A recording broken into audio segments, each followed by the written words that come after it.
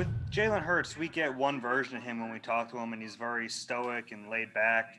Just kind of wondering what he's like with his teammates. Do you guys see a different side of him at times? Uh, no, he, he's the same way. Um, that's just how he is. He's he's pretty much like me, kind of. Uh, Can you guys hear? Uh, no, we can't hear you, Miles. Can you hear me? Okay. Oh. Miles, I think you're good now. Can y'all hear me? Yeah, we got you now. Okay. Well, uh, yeah. Uh, I, I, like you said, it, it, he's he's very uh, laid back. Uh, I think me and him are similar. Just real laid back. Can be goofy at times, you know, but when it's time to lock in, he, he's he's pretty locked in and, and, and solid with it. So even even after the game, before the game, he he's just he's focused and locked in. You could try and joke with him before the game. You ain't gonna get nothing. You know, he he's locked in focused, and I like that. But that's that's how he, that's just how he is. You know, um, just real competitive and, and locked in. But he, he is goofy though. Have you ever tried to joke with him before a game? Uh, a little bit, a little bit. He'll try to, you know, not really get that serious face, but he'll he'll just I don't know. It's weird. It's weird, but he's he's very very locked in before and after the game, win or lose. You know, he's just that type of player. And during practice, you know, he's all, constantly trying to figure out stuff, uh, figure out stuff he could have done better. You know, talking to himself. I'll walk past him, and he'll just randomly ask me something. You know, just always locked in. Go ahead, Rob, and then Martin. Hey, Miles. Um, just want to ask you about the situation of the game on Sunday. So, when you guys play, uh, Washington will be playing at the same time. Will you be cognizant of that and paying attention to the scoreboard, or how do you approach it, uh, knowing that you need them to lose and obviously you guys need to win? Uh, honestly, um, I don't think my job is to watch the scoreboard. but uh, you know, I, I uh, we know what's what could happen and what possible can happen. But all, all, I know is the only thing that we can control is winning that game. So uh, that's all I'm gonna be focused on. Um, not gonna really worry about be worried about the scoreboard if if we take care of business. Uh, we just gotta hope and pray that um, you know on the other side everything's taken care of too. Go ahead, Martin, and then Jamie. Hey, Miles. Um, both uh, you didn't play in the first game against Dallas, and, and Jalen obviously wasn't the quarterback back then. And the Cowboys have like the worst rushing defense in the NFL. I mean, is that a how important is is the running game to you guys, and do you feel that's something you guys can exploit? Thanks. Yeah, uh, uh, running game is very important. Um, uh, just getting it getting it started and getting it rolling. This is going to open up a lot of stuff for for us as a team, and um, you know having a quarterback like Jalen where he can use his feet and uh, you know pull it when he needs to pull it. Uh, just attacking the defense, staying staying on them, being aggressive in the run game. I think it's going to help us regardless, uh, whatever we want to do. And uh, you know, but there's still still a great team over there. Still a good f- football team. Still got NFL players on the team, so nothing's going to be easy despite of the the stats and whatever it is. But we just got to control what we control and go out there and dominate play after play. Go ahead, Jamie, and then Les. Miles, have you had a talk with Jalen about Cowboys week? I mean, he he didn't play in the, the first time. You know, he wasn't the starter when you guys played him the first time. But but is it different this year anyway? Because you know, there's no fans. It, it's bizarre, right? I mean, have you had to talk to him about the rivalry and what it means?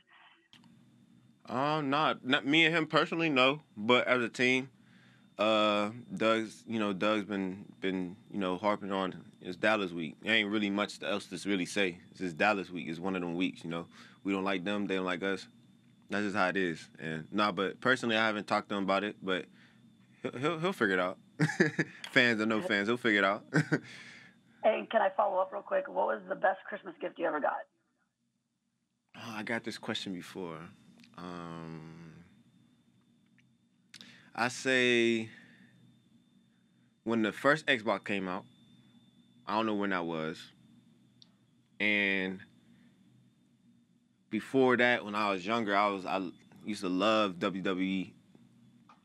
So my mom one day, she one Christmas she bought all the characters, Undertaker, Stone Cold, Steve Austin, The Rock, Autumn, and she also bought the the wrestling actual ring with the entrance too.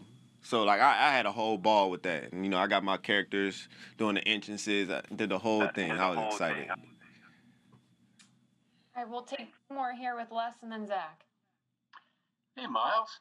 I wanted to ask you about your offensive line. It'll be the same one apparently this week that you had last week, uh, unless something catastrophic happens here in like next few days. That's uh, a new experience. What will that be like? How much does that help? And this is such a different line than the one that you started the season with.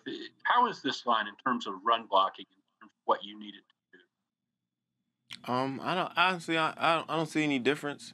I think I answered this question last week. Um, yeah, the line's been changing every week, but uh, when you got a coach like Stout and you got a center like Jason Kelce, um, don't really matter who else is on the line. Not not to, you know, discredit the rest of the offensive linemen, but you know those two are key parts of our offensive line, and to be honest, our offense. They they them two they handle a lot of stuff with the calls and getting us in the right place, but honestly, the whole year, despite all the different substitutions and lineups, honestly think that the line's been doing a heck of a job with it, you know, and that's all I could really say. Okay, thank you. Take one more here with Zach. Hey, Miles, you've uh, told us in the past that you don't pay attention to your stats, but a thousand yards is a significant benchmark for uh, running backs, and you're 190 yards away with two games to go. Is that something that you're aware of, and is that something that would be important for you to reach in these next two games? I'm aware that we got to win this week. Uh, I'm aware if we win this week and everything ca- uh, handles itself, we got a chance to win the uh, the NFC East next game. So that's that's what I'm aware of. What does Cowboys week, week mean this year as far as the rivalry and, and the fact that I mean it's different without the crowds and with a rookie quarterback that's never even played in this rivalry before? Yeah. Um, when you're talking about Cowboys Week, I think you know, regardless of you know crowd noise or not, rookie quarterback or not, um, when you get drafted to the the Philadelphia Eagles, um, this rivalry you you've you've accepted, you know, this rivalry, um, regardless of the record, regardless of anything. Um, it's always a must win for this city and for this team. Go ahead, Ed, and then Les. Hey, Jalen, Merry Christmas to you and your family.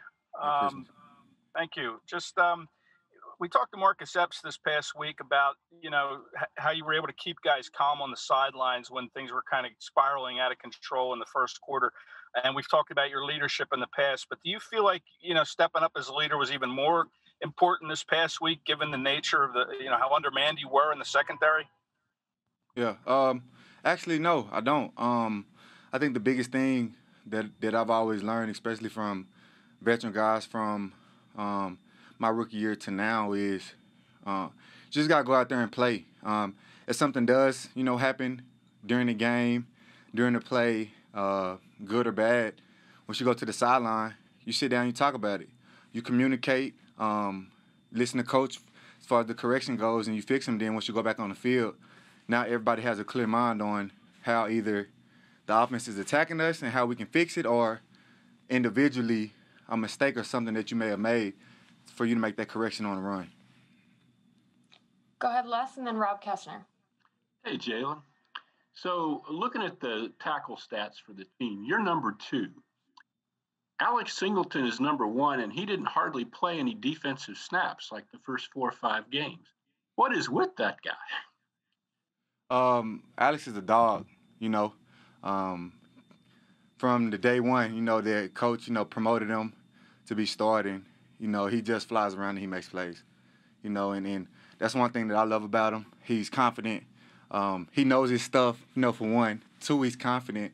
And, and three, he's just gonna fly around and knock guys out, and that's what you want out of out of your linebacker. Thank you, and Merry Christmas. Merry Christmas. We'll take two more here with Rob and then John. Jalen, what's up, man? Merry Christmas. Uh, and I want to ask about Christmas. Um, you know, for the young guys this year in particular, do you have to like talk to them about how they're going to literally like where they're going to eat and where they're going to be? Because like under normal circumstances, you'd probably be able to hook up with family or that kind of stuff. This year, you can't. So Do you have to do that with uh, some of the younger guys and take them in? Yeah, uh, for sure. It's it's one of those things to where you're you're, you're telling guys, you know, um, I might have I'm not gonna have a lot of family, you know, in, in my house just because of COVID and protocols.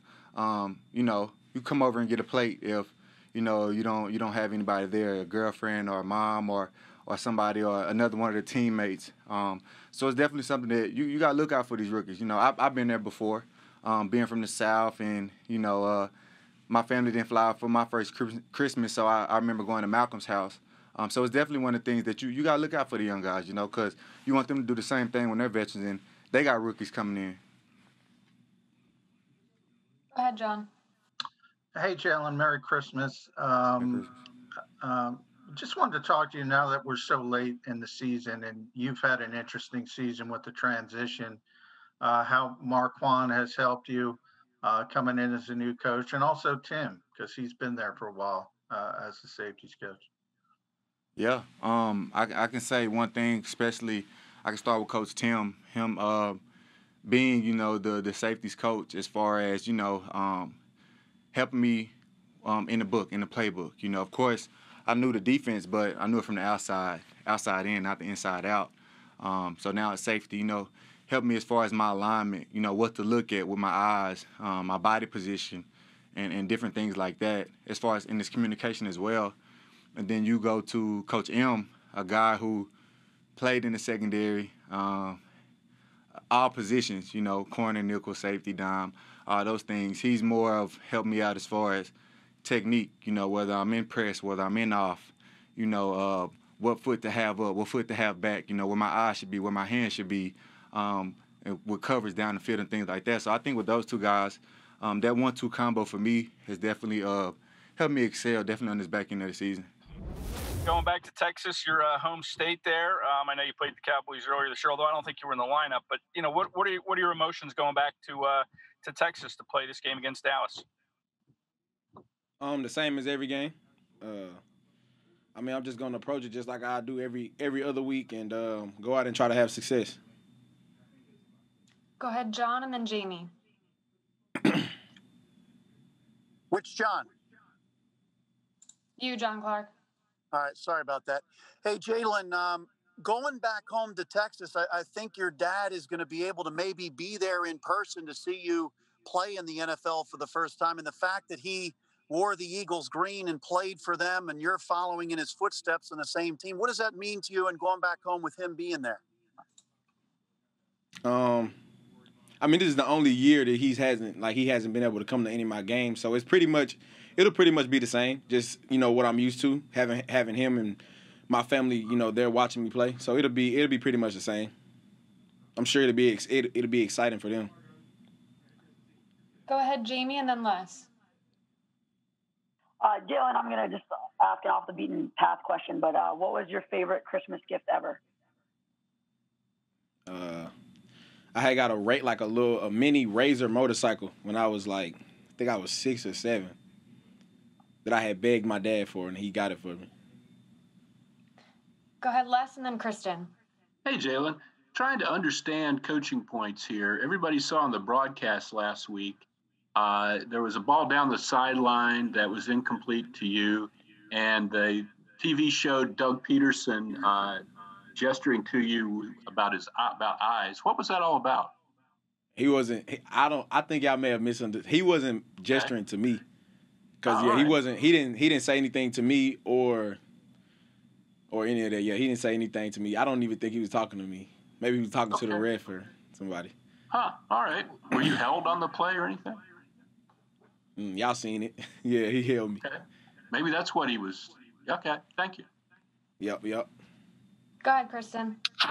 Hey, in the last few years, we've seen some of the young Eagles guys really step up late in the season. And we're seeing it again now with guys like you, Quez Watkins, Jalen Hurts.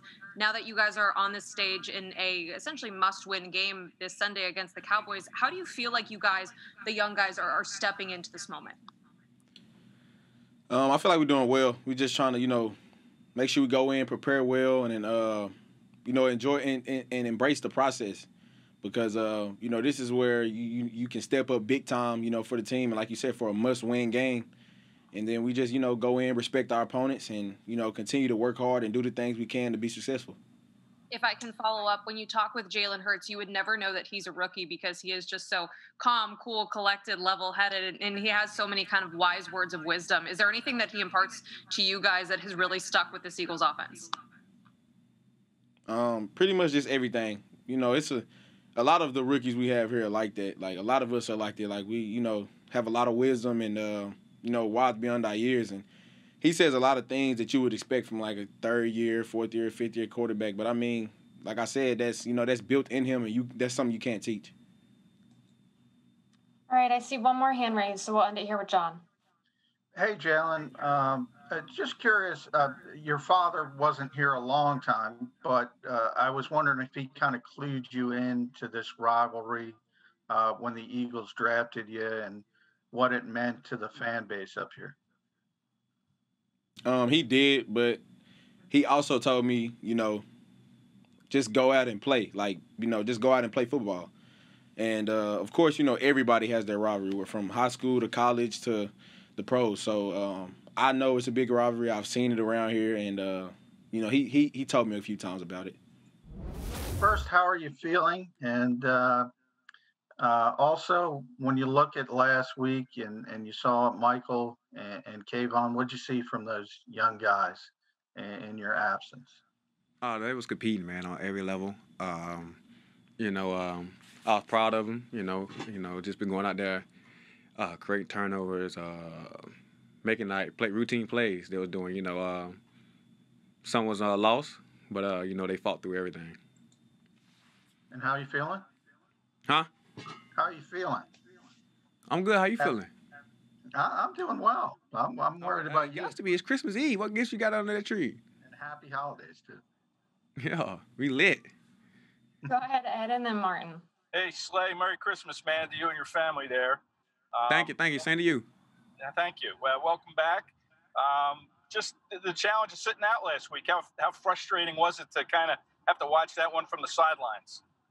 It was rough, you know. I'm saying? Uh, I was trying my best, you know, to uh, to be there, but uh, you know, uh, of course, it didn't pan out right. But uh, man, I uh, I knew that game. I could have made a big difference in that, and um, you know, because there's only one or two plays that could have been a game changer, and I, and I knew me being the the guy I am, I would have made them type of plays. So, but uh, the guys did good though. At the end of the day, they competed, got turnovers. Uh, they did they did a pretty good job, man. You know, uh, just a little play there, play and then play here. Thanks, man. Martin and then Les. Hey, Slay, Merry Christmas. Um, thank you, thank you. Merry Christmas to you too. Well, thanks. Hey, you've had uh, quite a run against uh, top wide receivers lately, and, and you got another one coming up in, in Amari Cooper. Um, what were you able to do like the first game against him to kind of keep him in, under control somewhat? I mean, um, we just did what we had to do, just play ball, compete. You know, um, obviously I would never. Um, he didn't have uh, his his guy, uh, you know, Dak. You know, so I would never credit myself as winning because I, I want to go against the best, and he didn't have his best. But uh, but he's a talented guy, man. Uh, I look forward to always battling, and um, he he gets me better every day. I know my goal to get him better, and I'm um, continue to keep competing. So, but uh, you know, I'm looking forward to the matchups. Go ahead, Les, and then Bo. Ho ho ho, Slay. How are you? Ho ho ho. Indeed. Uh, so this concussion, that was your second of the season. Uh, right. You you know the the the, the conversation around that subject. Uh, how much does it bother you? How much do you worry about it? Uh, you know what things are going to be like in 20 or 30 years. Uh, you know how, how what's your approach, I guess, on this? Uh, that what that what made the decision for uh, that was best for me not to play last week, just because of the fact that that was my second one, and I felt like uh honestly, man, I didn't let my brain heal. You know, like I got kids, and my kids are funny, so if my kids see me at age 40, 50, sucking out a straw, they're not gonna be pretty much sad. They might crack a lot of jokes, so I cannot let them get the jokes up on me. So uh, I, you know, I want my son to be looking at me laughing. Dad, you sucking out a straw, goo goo goo, giggling, goggling. I'm, I can't, uh, uh, uh. So, uh, uh, I thought about that, and I just thought about my mental health, man. You know, uh, you know, my health do come first. Uh, my family do, and I, I, I want to be there for my kids. At the end of the day, you know, I love this game, but uh, this game will always continue without me. So uh, you know, I'm gonna enjoy it while I'm here, and I'm gonna be safe while I'm doing it. So uh, I thought it was best for us to just know, all us did, is just sit out there and uh, sit this one out, you know, and rest rest the mind, let the brain heal, and uh, come back stronger. Thank you. Go ahead, Bo, and then Zach. Come on, I Bo. wanted, I wanted to ask about Michael Jacquet. Um, he's got these these very long arms, like he measured as like some of the longest arms for a cornerback in the league. Is that something that you've noticed about him? Does that stand out? Yeah, he looked like a little uh, a taller a taller little baby eight. You know, he might be young, but he got long like a grown uh, eight arms. So uh, he got some long arms, man. He uh, you know, he he uh, still developing as a corner. You know, he ain't playing corner that long, uh, but uh, he's learning well. You know, and I'm doing my best I can to help him become the player he need to do be at his position. And uh, I think I'm doing a pretty good job of uh, leading him the right way, and I'm gonna continue to keep doing that because uh, I want nothing but the best for him. And so he got a lot of potential, the, the right size, the right mindset to be uh, one of one of the guys in this league. Do those arms make a difference? Huh? Does the does the length of those arms make a difference? You think? Oh yeah, of course it does. You know, uh, picture, uh, shoot, honestly, picture me with them long arms. Yo, I jam, I jam it from five yards back. Ah! Bam! Don't you move. We have time for one more, so we'll end it here with Zach. Hey, Slay, good to talk to you again. Um, I, I, I know I'm, I'm not uh, breaking news to you here, but you don't have an interception yet this season. You haven't had that since, your- since your rookie year. Is there an explanation for, for why those picks haven't come, and how much does that bother you? Oh, that it don't, don't bother me at all with the picks, you know, because uh, like I said, they go come when they come. Um, I never been a guy that's been always about picks. Uh, but you know, when I do get the ball, I do try to capitalize it and make it.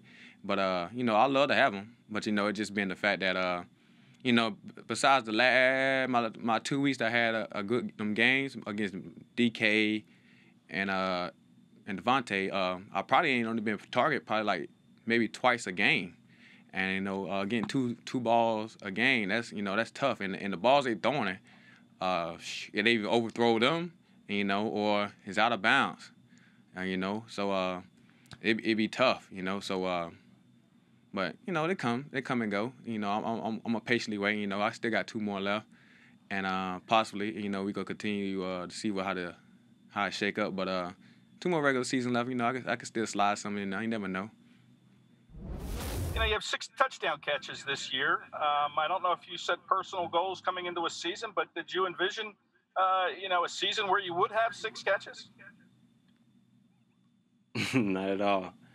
Um, I just envision myself going out there making plays, and whenever it comes my way.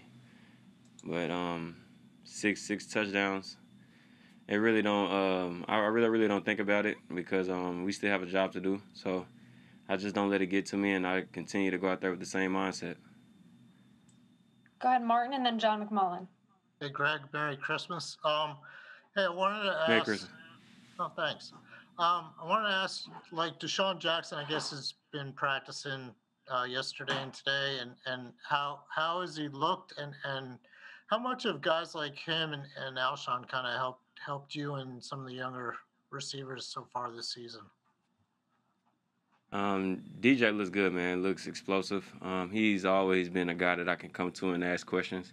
Him and Alshon, um, especially whenever I first met him, you know, he always been somebody that I, I looked up to. I always used to watch his game, and um, for him to be able to be an explosive player in the league, um, that was, that was one of the things that stood um, stood out to me. And I always talk to him, always ask him questions about certain routes and just football in general. And me and Alshon talk all the time um, every single time we uh, see each other. We always discussing plays and and defenses and routes and just making sure everybody's on the same page. So I'm definitely being a sponge to those guys, just learning all I can. Go ahead, John, and then Jamie. Hey, Greg. Uh, Merry Christmas as well. Merry Christmas. Uh, uh, wanted to talk to you about that red zone success kind of follow up. We talked to Doug about that. He mentioned your quickness. Do things tighten up down there? Is it more difficult than, say, 20 to 20 uh, when you're in those red zone spots? Yeah, the the defense is a little tighter. You know, they're they're going to be um, more aggressive. You have to um, you you you have to have a plan, man. You have to come up with a plan to um, to win and be and beat that coverage, beat that man coverage, or if it's on. and um, I think that's what we harp on in practice, and it's just it's just a lot of repetition, man. We just work on it a lot. Go ahead, Jamie, and then Ed. Cowboys week means. I know it's a different year. The crowds aren't there.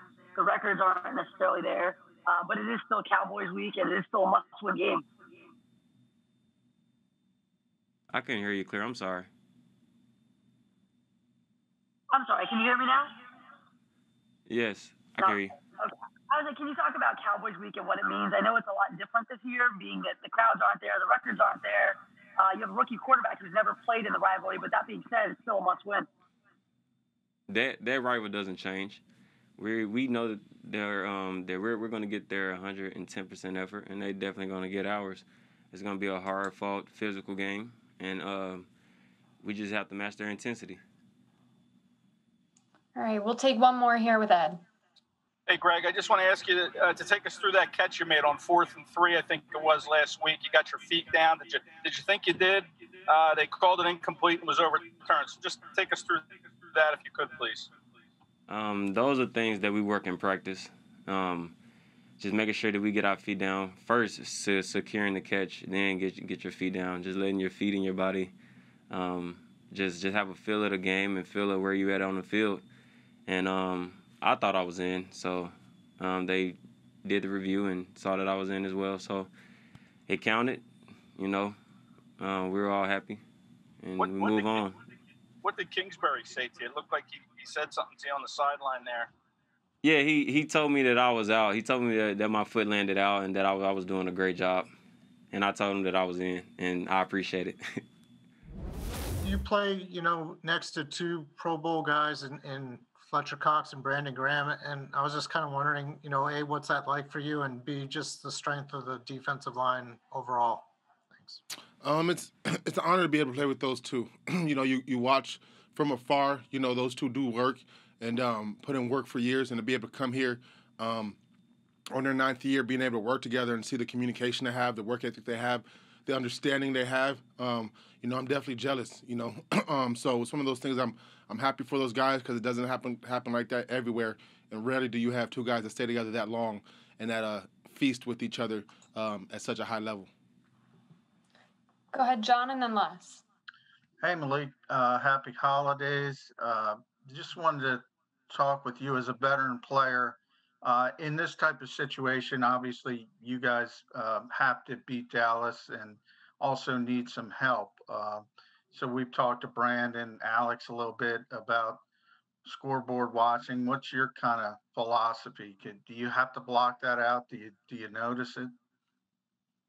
Um, my philosophy is uh just do our job. You know, it's one of those things we've been sitting here. If we, um, as a team, we wouldn't be in this position. You know, scoreboard watching if we do our job. So I think the one thing we have learned is just win the game. And um, if we win and do what we're supposed to do, um, I believe everything will fall in place. But you know, we just got to win the game.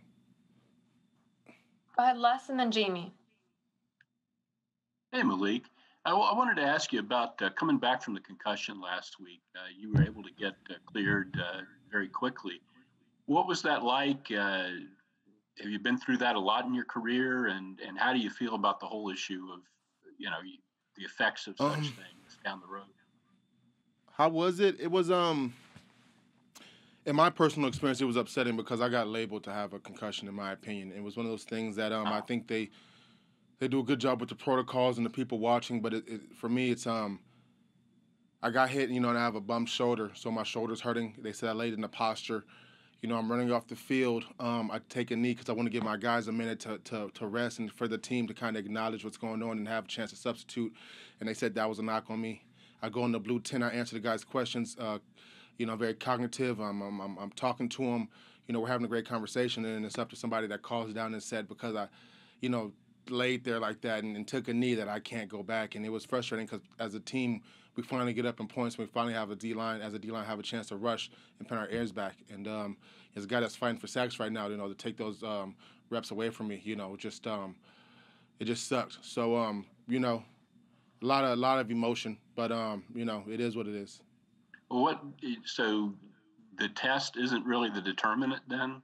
It's more I mean, to be honest with you, man, I, I, that's what I learned. I, I, I, they, they, you know, I have a guy talking to me, and then he tells me that it's not his call, and then I'm getting frustrated because you're telling me you're the end all be all, and now you're telling me you're not. So it's one of those things. I mean, you know, it'd be nice if one of our team doctors, a guy that knows us and knows our attitudes and our and our and our mannerisms, can can make that call. But um, you know, just kind of sucks when a guy that's watching the game somewhere from his couch makes a call on you, and that's not there talking to you. So, uh, you know, but it is what it is.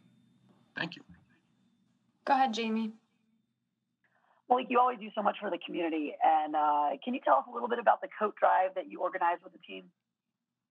Uh, yes, thank you for bringing it up. Um, I was able to partner with my uh, foundation, Malik's Gifts, was able to partner with Burlington Coat Factory, and I was able to come to the guys. Um, what they gave me, I believe it was 25. We we raised 25. Um, we can donate a thousand coats. Um, we raised, ended up raising 35, and uh, we were able to donate 1,500 coats, and then Burlington matched with a thousand. So we gave 2,500 coats in the um, Philadelphia city area and part of Camden. So um, you know, I just want to thank my teammates for all being um, gracious and um, you know allowing these people to um, you know be warm. And uh, thank you. It always makes you feel so good to give back to the community. You do it all the time. What do you want to see under your tree tomorrow? What do I want to see? Um, I have everything I got. You know, my um, I was able to fly my daughter in town safely, and um, that's that's what I wanted. Um, you know, this year has been tough. You know, a lot of sacrifices, um, and um, just to have her is uh, is what I wanted. So I'm I'm happy. All right, we have time for one more, and then we'll get Jalen Reagor. So go ahead, Bo.